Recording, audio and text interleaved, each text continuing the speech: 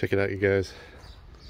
I'm harvesting apricots this morning, and I've been doing this the last three days, and I've gotten tons of apricots. So, two days ago, I harvested in between 40 and 50. Yesterday, I harvested about, I'd say, 20. And today, you can see the harvest is definitely coming to an end here. But what tends to happen is you end up with way more apricots than you can possibly eat if you're just eating them fresh. And so we've been eating these every morning, but can't keep up with them. So what I'm doing is I'm trying to find ways to preserve these. And so what I've done is I've made some jam. And I think I'm going to take a bunch of these. I've got about 20 or so. And I'm going to try drying them. I've never done that before, but just want to kind of see how that turns out. So let's see this guy here. So today, two, four, six, seven apricots.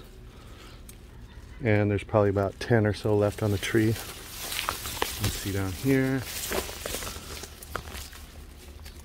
So if you get one of these trees, one of the problems that you'll have is trying to keep up with eating them all, which is exactly the kind of problem you want to have when you're uh, growing these trees. So let me take these inside and I'm gonna I'm gonna start this drying process, which is new to me as far as apricots go. Last year I froze a bunch and then my freezer went out, so I lost a whole bunch of my harvest.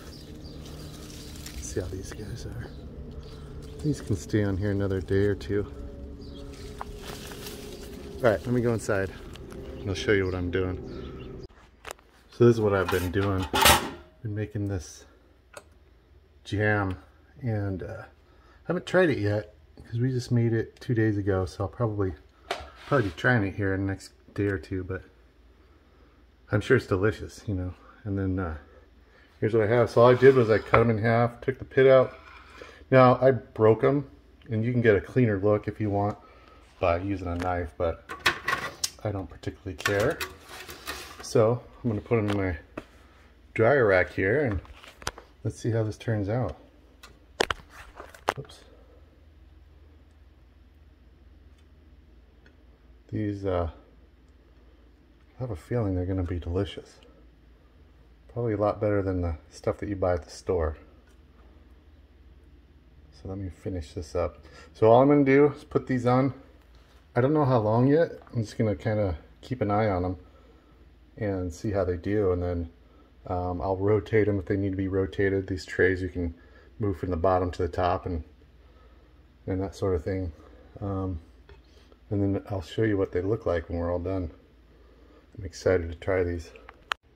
Okay, so here they are. I ended up drying them for probably about, um, I'd say close to 30 hours in total. So this is what they look like. They don't look they don't look awesome. They don't look all that appetizing. But I'm gonna give I'm gonna give one a try here. I'll go with a smaller one, so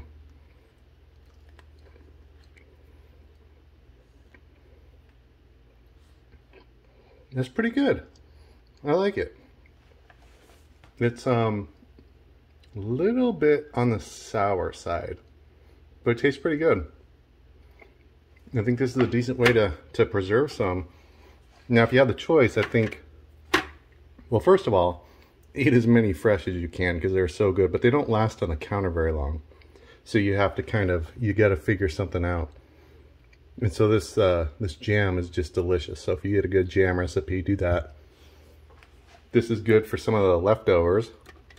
And uh, I, I'm definitely, I will do this again next year especially if I have a big harvest, you know, and I can't eat them all. So anyway, guys, I just want to share with you some of the some of the problems you have when you have an apricot tree and it produces more fruit than you can eat. so, like I said, that's a good problem to have. But um, here's just another another way to save some of your harvest. All right, guys, thanks for watching.